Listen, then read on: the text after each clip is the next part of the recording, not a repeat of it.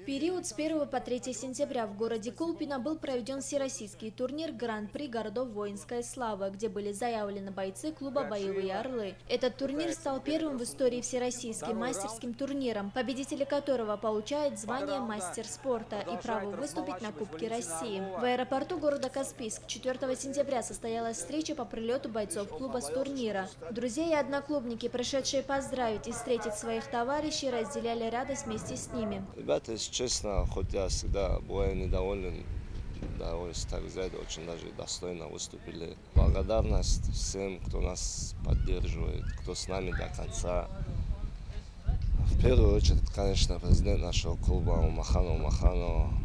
Это большая заслуга его в том, что он нас поддержал всему тренерскому штабу, который подготавливает наших бойцов, как личные тренера, так и весь тренерский штаб.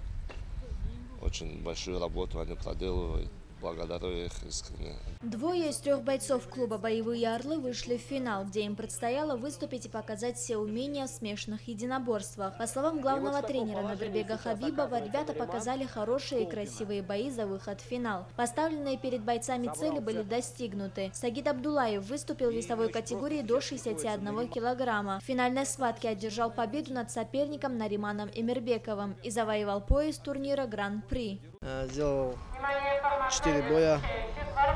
Первый бой я выиграл досрочно, второй чуть э, положился, все раунды отработал. Третий бой тоже досрочно. Финальный бой начался со стойки, я пару раз попадал ему хорошо, потом переводил партер и от, уже оттуда пошла своя работа,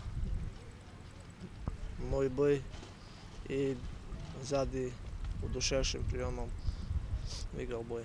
Как отмечают тренера клуба, это только начало больших Забрал побед. Центр, Ребята активно ведут тренировочные занятия, участвуют в турнирах, ездят на сборы для получения еще большего опыта в том или ином направлении. Стоит отметить, что Магомед Ибрагимов, выступивший в весовой категории до 93 килограммов, занял второе место и завоевал серебром. Бурлея Цамбиева, Абдулла Алиев, информационная программа «Пульс».